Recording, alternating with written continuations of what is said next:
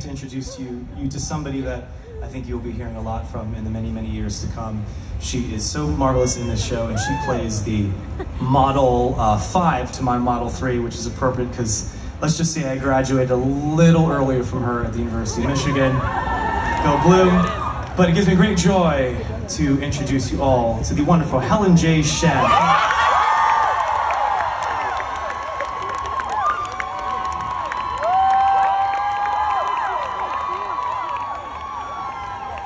Is that mic on? Uh, I think it is. Ayo. So uh, this is the, uh, the titular, haha, funny word, titular song uh, of Maybe Happy Ending. I'm not really going to tell you what is happening in the context, but let's just say, can two robots fall in love? Can they be together? Is that possible? I don't know. We'll see. Uh, so this is uh, that title song. Do you want you ready for this song? It's the first time we're singing this for people outside of like our company. And what a venue. And what a venue. We got some nice weather. I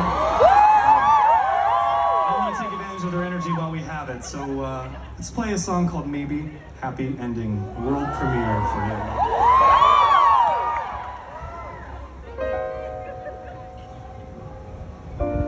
The ending's not the most important part, but as endings go, ours is not so bad. No tears, no regret, no broken heart, and sure no memories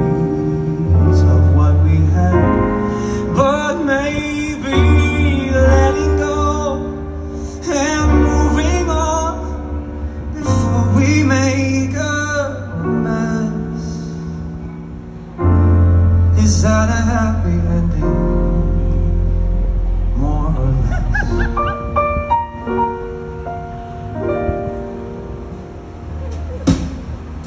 Those sunny afternoons you spent with me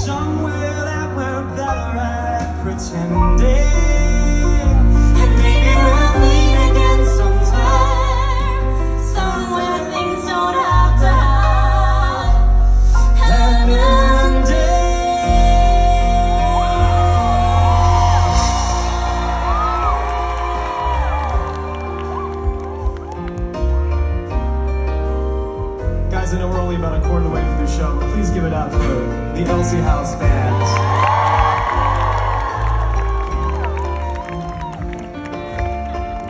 When do we start the show? October, 16th, and then we open November. 11. Get your tickets. You held my hand, you taught me love, and then you set me free. That's not such an awful ending. If we have to have an ending, is this our maybe happy ending? We'll see. We'll see you on Broadway, all.